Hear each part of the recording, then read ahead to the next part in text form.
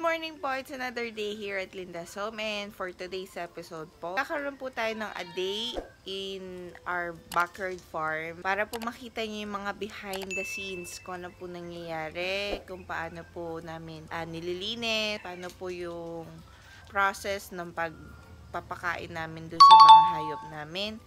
Ngayon po kasi medyo dumagdag or dumami na po sila. So, kailangan po namin magtulong na ni Daddy para po mabilis yung trabaho. At the same time, madami po kami magagawa. Other than sa pag-aalaga po ng hayop. Ngayon, magkakapi lang kami. It's 6.30 a.m. po. Habang tulog pa po si Miguel.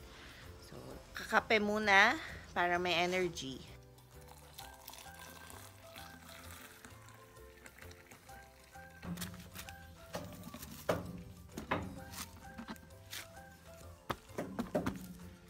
Ha-harvest po tayo ng madre de agua para po ipapakain sa baboy, manok, pato, peking duck, kambing.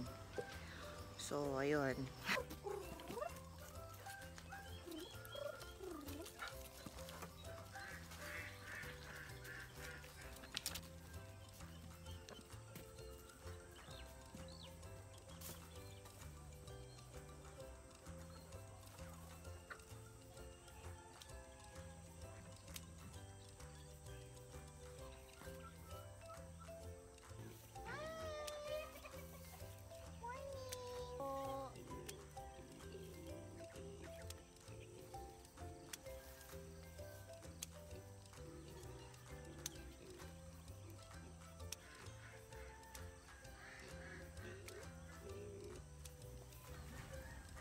bigyan natin yung aming babies.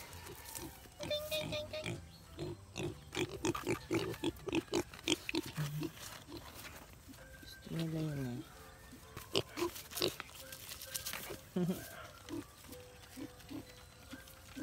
yung ubusin niya.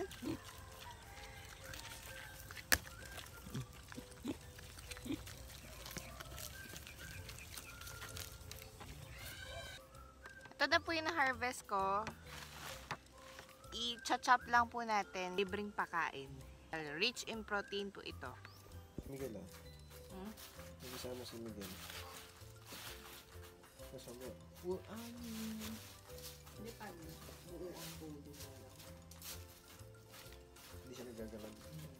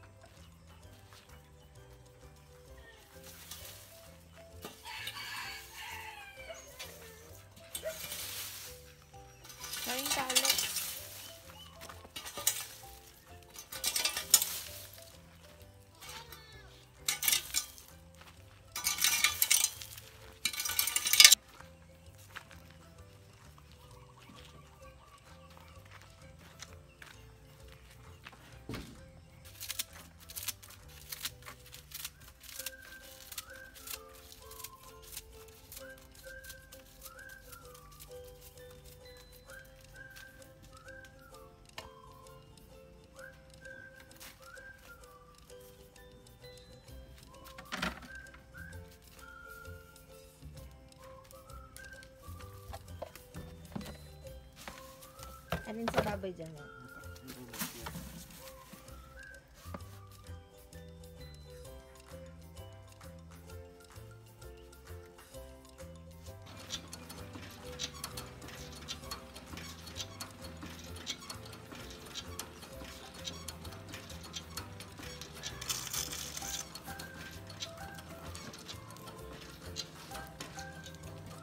check po, 7.32. So, gantong mga oras po talaga nagpapakain na po kami after namin mag-chop. Kaya po inaagahan po ni daddy or namin mag chop kasi um, para po sakto lang yung oras ng pagpapakain po nila. Yung Peking duck, for sale na po ito. May nag-order na po dito.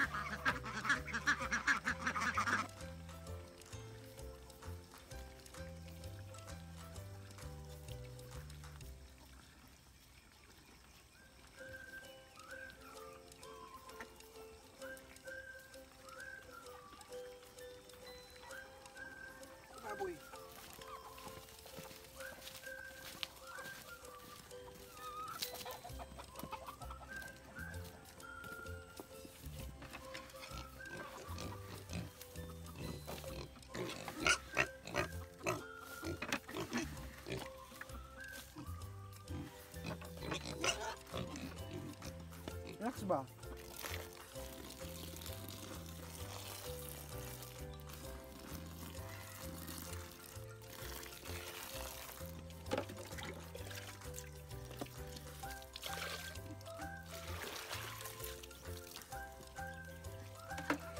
Grabe yung okay nila. oh. Mga ano, ano yan. Oh my goodness. Ang dami tayong linis yan. Okay.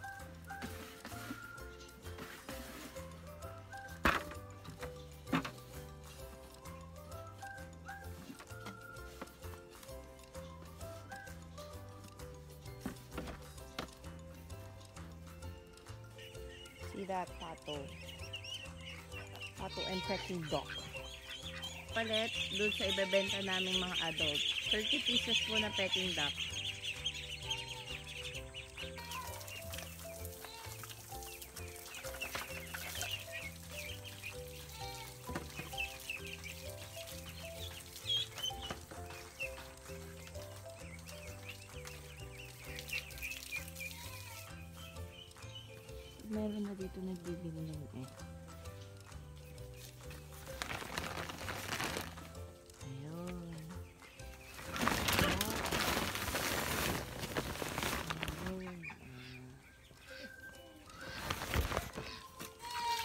Mga tae-tae.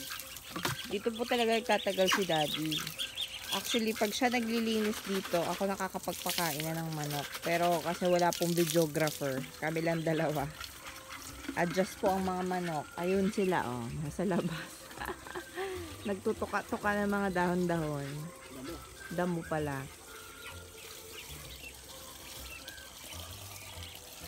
So, ito ay one, one month? One month old pa lang yan mga yan, oh. One month old. pero wala nang feeds. Hindi na sila nagpi-feeds. Actually po, dito,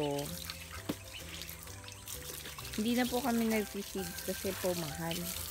Eh, ang dami po nila at saka different variety. Kaya lahat is darak at saka Dahon. dahon. Which is okay lang naman, love, di ba? Parang gulay na rin naman sa kanila yun. Once in a while, siguro po, pag may, pag may budget. pag may budget. Pero pag ganito, wala. Eh, doon na lang tayo sa, ano, Natural. natural.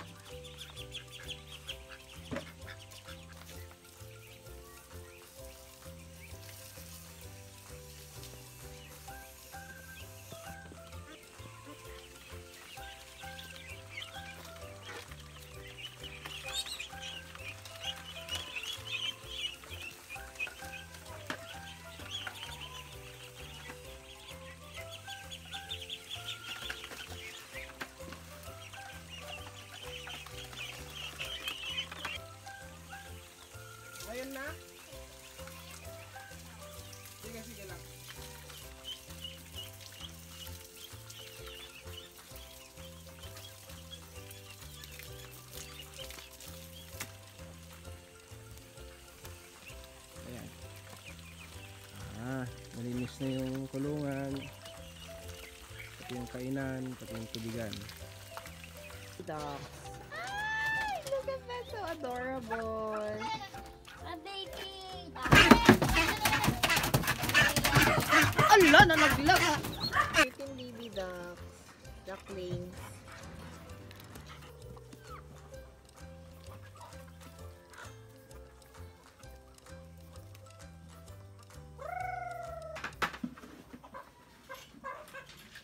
Umuli ka na lang. Isa kaya ito Chantel. Dalawa kayo. Para sir. Ngayon po, mahuhuli tayo ng ano, tatlo. Tatlong manok kasi may order po tayo. Kanina meron din pong bumili pala. Naayos lang ni daddy yung paglalagyan ng ita ikukulong namin. Yun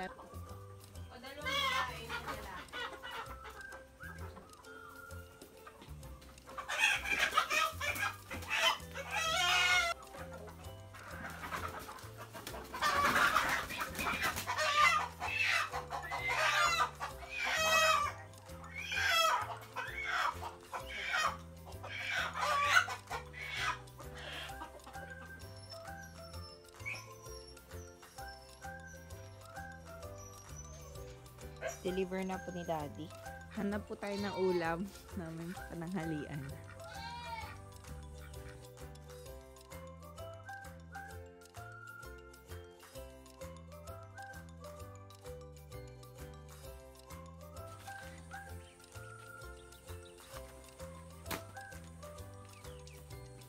Ulamski. Later. So ngayon po mag-harvest tayo ng uh, napier. Napakain natin kasi medyo makulim yung panahon. So mag-ano tayo ng good for 2 days. Pero hindi na tayo pabalik-balik dito. Ayan. Ito na po yung na-harvest natin. Good for 2 days na nila. Medyo naambon-ambon. Pero sana na yung pag-harvest.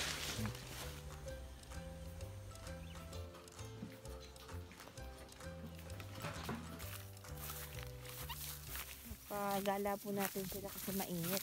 Ang panahon. Ayan na. Yan. Tingnan na sila. Mainit naman. Maglilinis lang po tayo ng kulungan ng manok. Kasi medyo madumi na po eh. Kailangan na linisin.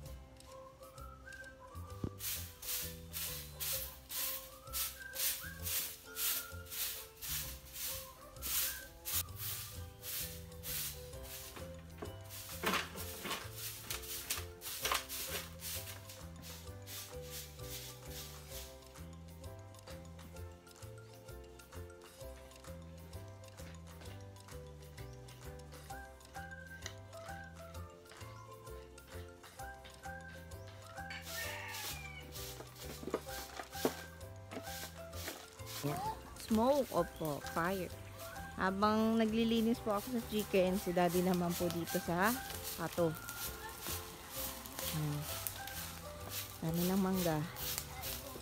Tag mangga na po. Hmm, Linis-linis lang kailangan po kasi i-maintain eh. Maintain yung cleanliness ng backyard. Hirap na po magkasakit.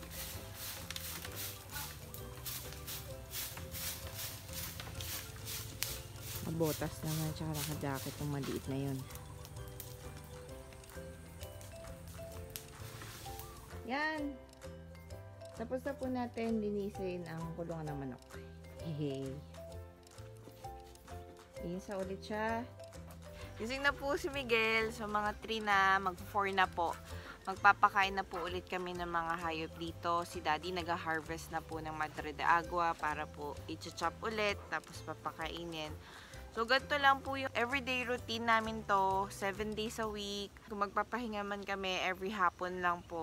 Pero, ganun po talaga. Kahit po mahirap, blessed po kami kasi meron kaming lugar na pwedeng paglagyan ng mga alaga po namin. May mga alaga kami na buhay na pwede namin ibenta. Ito lang po ang pagbabackyard farming. Masaya po siya, nakakapagod, pero ganun po talaga. Kasi business po namin to. Masaya po kami sa ginagawa namin. Kung mapapanood nyo po yung first episode, makikita nyo yung difference ngayon.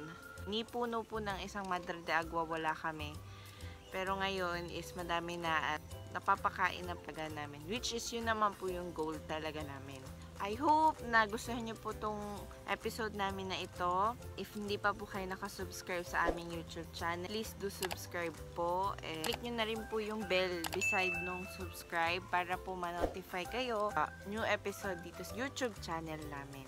Thank you so much po sa mga patuloy na nanonood and nagsusupport sa amin. Thank you po and I hope we see you next week. Bye.